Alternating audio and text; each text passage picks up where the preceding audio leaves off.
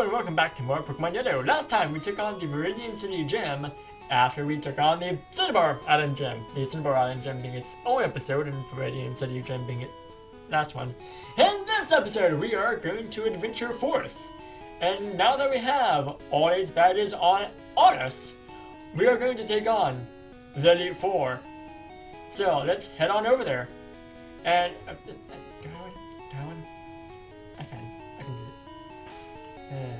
Pokemon. Before we do that, we're gonna take a slight detour to see what this guy has to offer.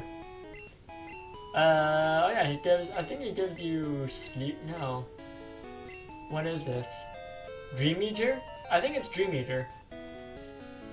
Uh, let's check that out really quick. If it is Dream Eater, then it's kind of not really useful for us. Yep, it's Dream Eater. Okay. Um, now that we've gotten that out of the way, let's continue on. Sorry about that. Um, so yes, I have Noodle out in the front right now because I can. So, over here is where the... Actually, isn't this where we caught... Yeah, this is where we caught Elvis, wasn't it? It's either this route or the... Ah, of course. I found a Pokemon, because why not? This may actually be where we found Elvis, which would be kind of cool in all reality. Reality. Um, so let's go on and find our rival, apparently. Uh, really? Is it surprise? Is it really that surprising to see me here? Yes, I'm going to the Pokemon League, and yes, I have all the badges. What? No. Haven't you forgotten? Uh, you've pretty forgotten that I have beaten you every time you fought me so far. Except for maybe in the beginning, I may have actually lost that one. But aside from that one, I don't actually remember if I lost that one or not. Don't quote me on that. Um, but yeah, he's leading off with a Sandslash. And we're gonna sit through these very slow. Oh, only two times. Cool.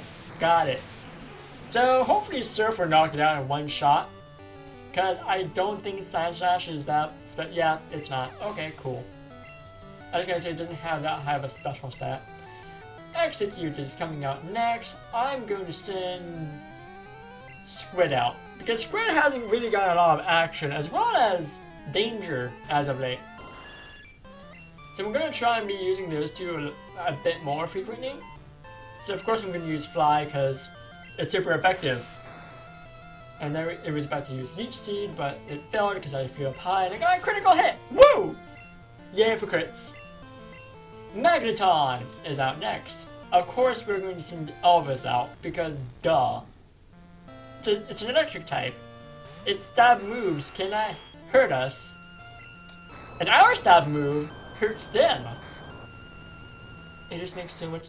Like, okay, I'm not worried about this fight at all. I have counters for all except for one of his Pokemon. Which, it's not out yet. Um, who do I want to send out? Who do I want to send out against this? Uh, I guess I'll keep Elvis out for now. I mean, I probably should have switched because I think he is the highest level out of any of our Pokemon at the moment, so probably would have been a better idea to send Noodle out. Actually, no, no. Elvis is indeed a good choice because Nant is not is not physically bulky. This is the Pokemon I have no counter for. I guess Pillow is our best bet because we have Amnesia. And what's up with the level 50 Psychic types as of late? Seriously, all of Sabrina's Pokemon were Psychic types. And they were, well, of course, the Psychic types usually Psychic type Junior, but they were all level 50. It was a level 50 Abra, a level 50 Kadabra, and a level 50 Alakazam, which we somehow took out with Danger. Yeah. Uh, I think I'll use one more Amnesia just to have a full thing set up. I don't think Kadabra gets any moves to raise its special stats, so hopefully Blizzard will do a lot of damage right here. Oh yeah, it knocked it out. Cool.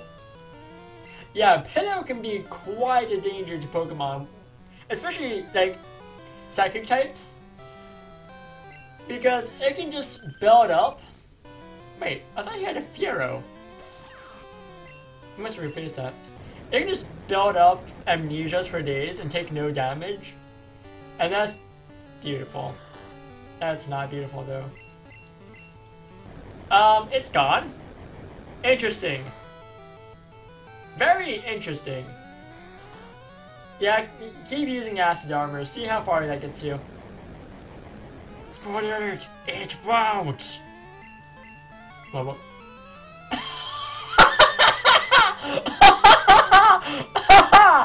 Ah! A regular potion! A regular potion on your level 53 Pokemon. What the heck? What the actual what? that's amazing. That's that's hilarious. That's very amusing. Yeah. Coming from the guy who used a potion on his level 53 Pokemon. Someone's a genius! Not ready. Oh man, that's just that's just way too great. I am so glad I have that on footage. On, uh, I have that. So here we have the only instance of this in all of Pokemon history, exception Fire Red and Leaf Green, where this where this comes up again, where you have to pass by eight people who, who all say, "Oh, you have this badge? Go on through." Yeah. Also, it's kind of weird. There's a path leading this way. Oh wait, there is something this way. What?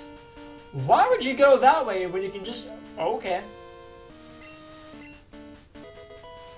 Yeah, you can only pass by here if you have the rainbow badge. But inter interestingly enough, you have to have the, uh... What is it? This badge right here. The soul badge. Nope, not that badge. That badge? That badge. Yeah, no? This badge. Yeah, the marsh... No? I'm confused. The badge you get from Koga, whichever that one is, I I forget. I think that might actually be the soul badge.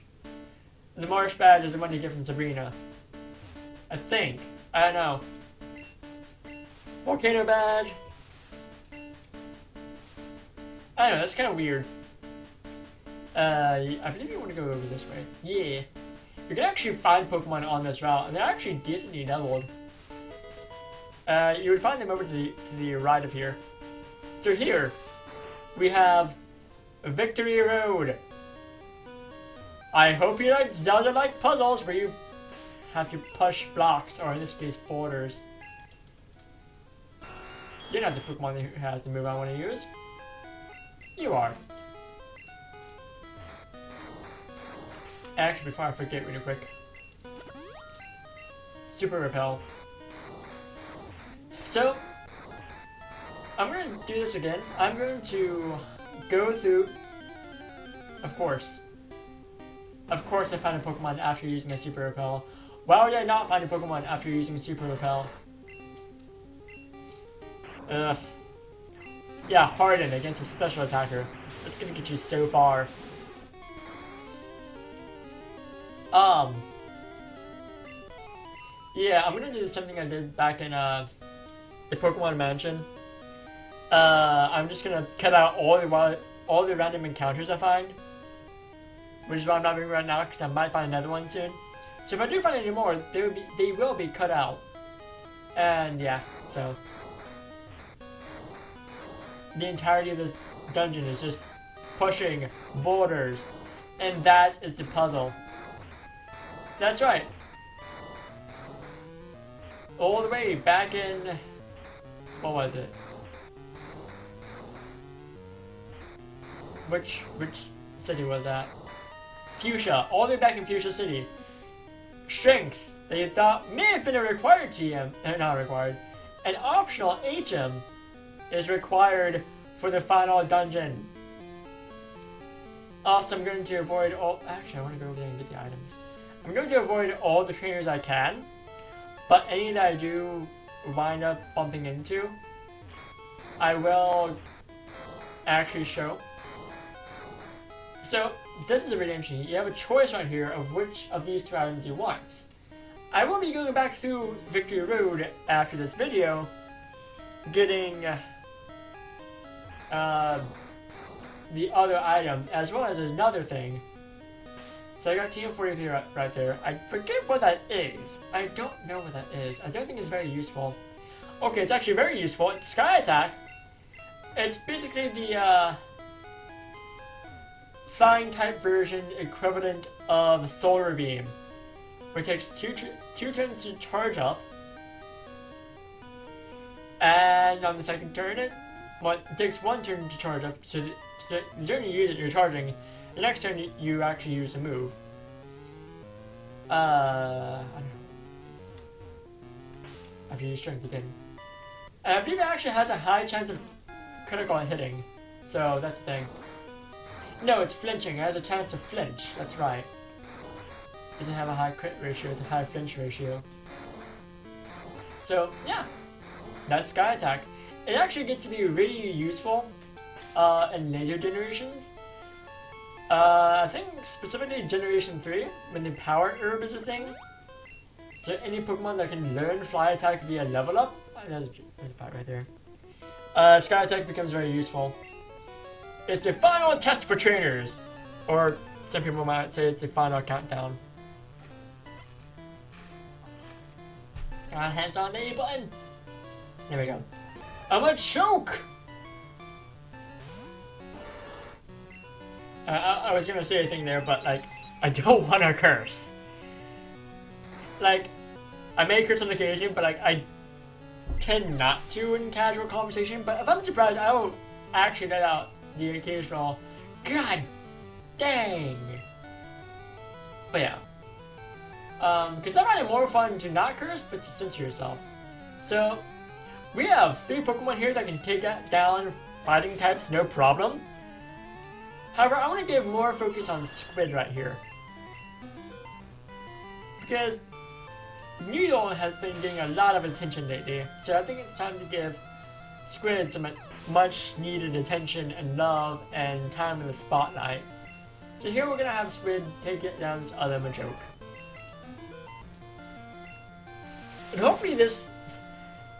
Okay, I get why trainers will try and use focus energy but for those of you who actually know the mechanics of this game, know that focus energy is broken and it actually reduces your chances. I've brought this up several times. Why do you keep using it? You've already used it once, it fails any other time you use it. Why? I don't know. Anyway. Oh yeah, see that thing right there? It's actually turned away from us at, the moment, I think. But uh, yeah, that's gonna be a reason why I'm coming back to Victory Road in the next episode. Yes, that's right, we are not tackling the Elite Four right away. We are gonna be doing optional things! ooh! Ooh, ooh, ooh, ooh, ooh! Noodle is trying to learn Amnesia. This is a super useful move for Noodle. In fact, I think I'm actually gonna get get rid of Seismic Toss for it because, well, yes, Seismic Toss is good for a Pokemon that I can't do a lot of damage to. Amnesia, you guys know what Amnesia does. So I don't need to justify getting rid of Seismic Toss for freaking Amnesia on a special attacker. Haha, yes! Yeah, that encounter, I found a, a knocked it out using Noodle, because the reason why Noodle is out in front is because the majority of the Pokemon you're going to find in the Victory Road are rock ground types. So, Gravelers, Onixes, and all that, and all that kind of Pokemon. Um, and Noodle Surf takes one turn to, to use, so it's kind of super super useful for this case right now. Uh, TM17, where are you? Submission. Uh, base 80 power fighting type move they take recoil from. So it's a fighting type equivalent of takedown. Uh, actually, I need to go up right here. Because there's the thing we want. I think I'm pushing this way. Let me see if that's correct. Yes, indeed I do, but not for the reason I thought.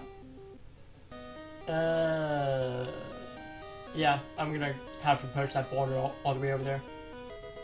Uh, but first, another freaking TM! We've got nothing but TM so far in the Victory Road. Or in, apparently a full here. We got Explosion!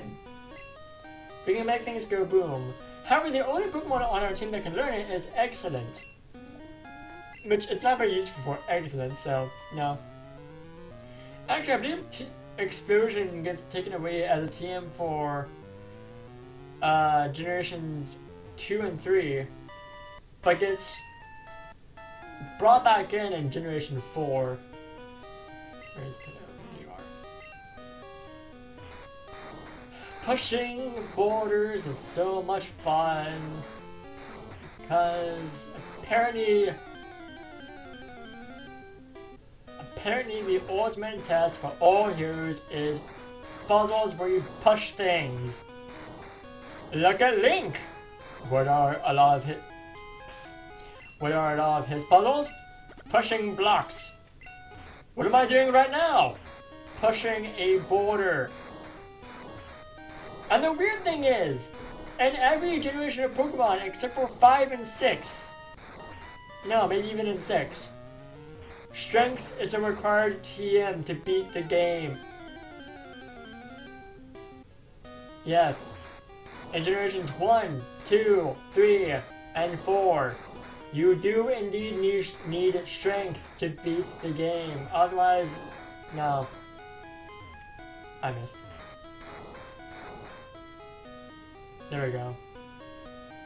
And now I need to find the other boulder, which I think is actually over here. Actually, I've only fought one trainer so far. Watch that fight a trainer down here. Uh, actually, I don't think I need to. Yeah, that guy didn't seem cool. Uh, yeah, there we go. This is the. Yeah, there we go. That was the border we needed to push. Surprisingly, I've been finding Pokemon after I finish sentences, so it's not that big of a deal. To use strength 1 again. I am so glad they fixed this in Generation 2. We can just press A on the border and use them and have the option to use the move right away as opposed to having to, as opposed to having to go into your inventory and uh, into your Pokemon list and having to select strength from the Pokemon that can use strength. Pushing borders. That's just. Uh, uh. I repeat myself for emphasis. Emphasis! Props to those who get that reference. Oh hey, we're here at the end of Victory Road. Cool. So, actually, I think you can actually fight Pokemon on this route. I, I say route, but it's really not a route. In this case, too. Oh, it's also kind of a maze but not really that much of a maze. Yeah, that's the maze.